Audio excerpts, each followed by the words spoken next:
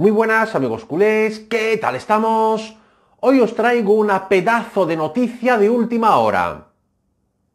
Una fuente parisina muy cercana al Paris Saint-Germain asegura que Bartomeu va a viajar la próxima semana a París para cerrar el fichaje de Neymar Jr. por el Barça.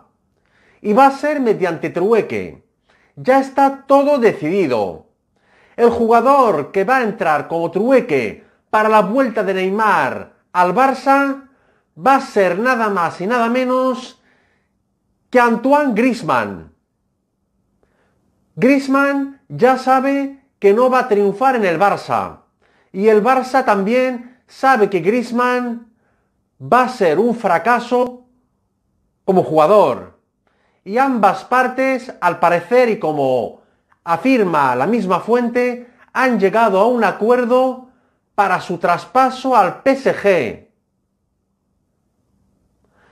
La operación va a ser la siguiente. Antoine Grisman más 80 millones de euros por Neymar Jr. El Barça, como ya se sabe también, va a vender estos días al brasileño Arthur a la Juventus por una cifra que rondará los 80 millones de euros. Y ese va a ser el dinero que va a utilizar el Barça junto con Antoine Grisman para fichar de nuevo a Neymar Jr. El crack brasileño va a firmar por 5 años por el Barça. Esto ha sido mi gran noticia de hoy, amigos culés.